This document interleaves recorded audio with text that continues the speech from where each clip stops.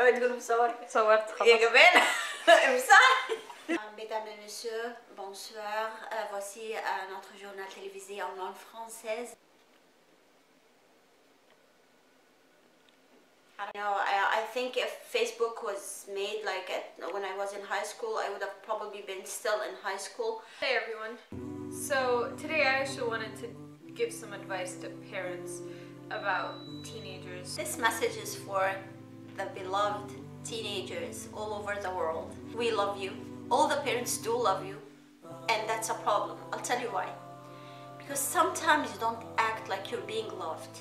You're always complaining that nobody's listening, nobody understands you, nobody loves you enough.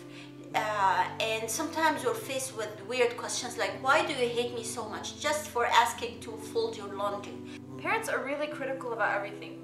Like everything is wrong. Like if you drop a fork, that's a really big deal. If you run out of the house at 2 a.m., that's a really big deal. If you fail your classes, that's a big deal.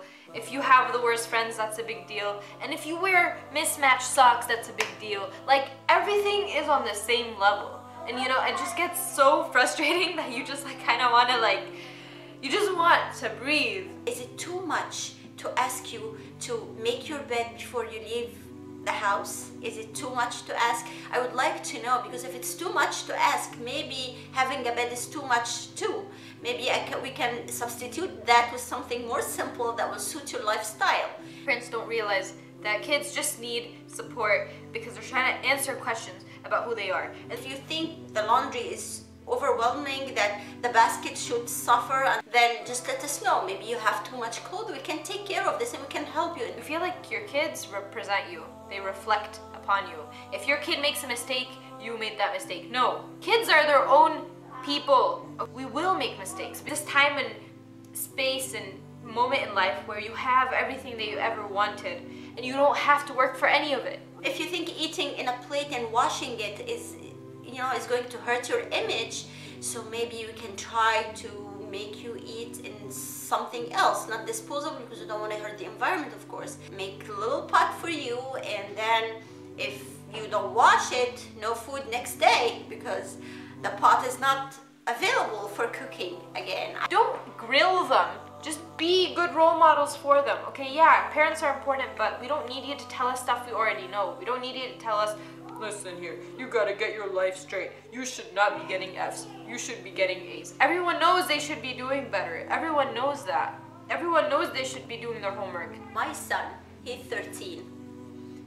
He has the best heart. He cares for us every, you know, every single day. He can say the best words and he always tells me I love you the most out of my kids.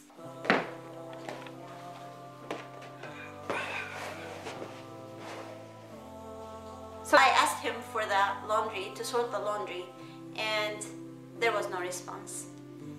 Um, he didn't agree, he didn't disagree, he didn't argue, as if I didn't say anything at all.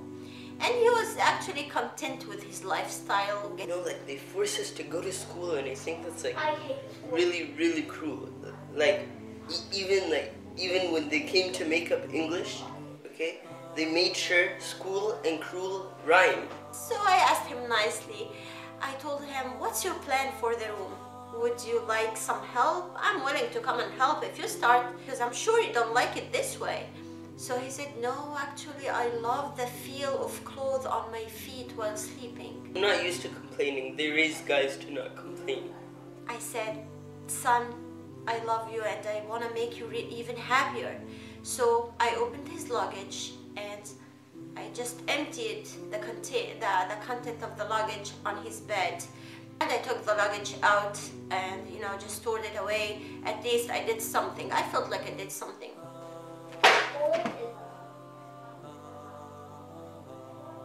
Is this a serious video? And I waited two days, three days.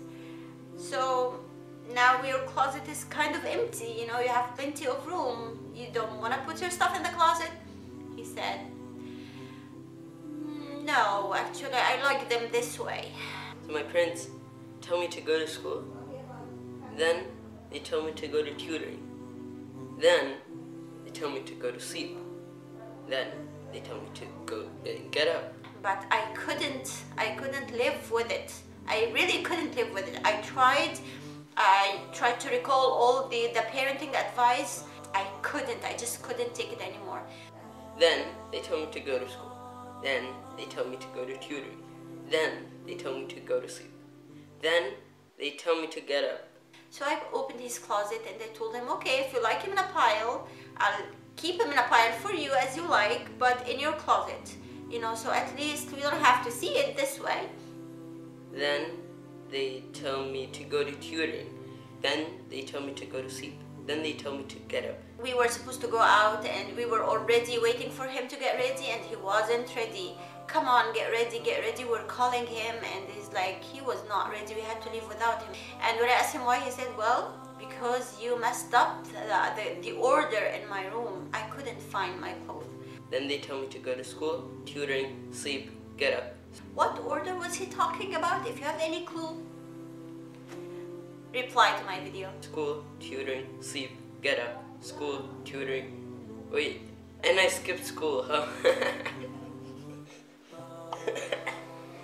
When you're like, oh, when I was your age, I used to do like five miles, walk to school, and walk back 20 miles in the cold, in the snow, under the warm sun. No, okay? That, that doesn't help us. Putting us down and making us feel like we're failures compared to you, that doesn't help us. Second thing is, you know that story isn't true, okay? Because I asked grandma. Hello, today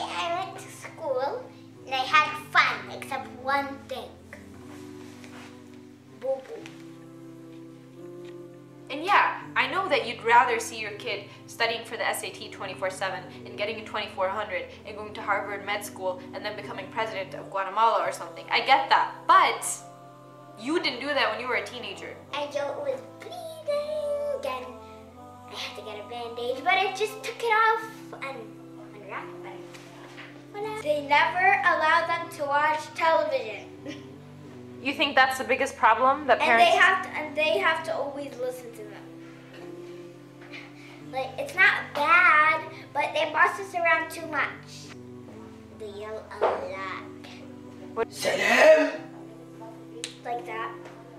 Just take it easy on kids. Realize they're teenagers and they're going through a phase. A phase. You haven't lost them forever. Just because they made one mistake, just because they failed one test, doesn't mean your kid is now lost forever and they're going to fail in life and they'll never get an A again. That's not what it means. Your kids are very good people and they love you. You know what? You should teach your kids how to come back from mistakes. You don't teach them not to make mistakes. You teach them to rebound, to come back. I'm out. Peace.